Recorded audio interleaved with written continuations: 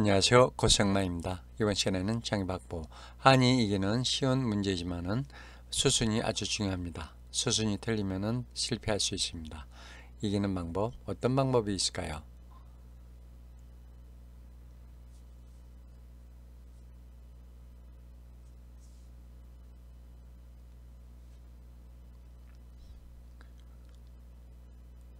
정답을 알아보겠습니다. 여기서 이렇게 차로 장군 치는 수는요 차로 맞고 마장을 치면은 차로 안 맞고 궁이 돕니다.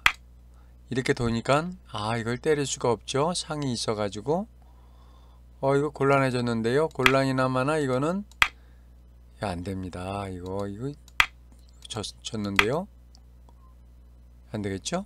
그래서 여기서 수순이 자 차장 치기 전에 이 마로 먼저 장을 쳐야 됩니다. 그럼 어떻게 여기서 지금 피할 수 있는 게 차로 막는 수밖에 없습니다. 그래 놓고 차장을 쳐야 궁이 돌 수가 없죠. 상이 아무 필요가 없어져요.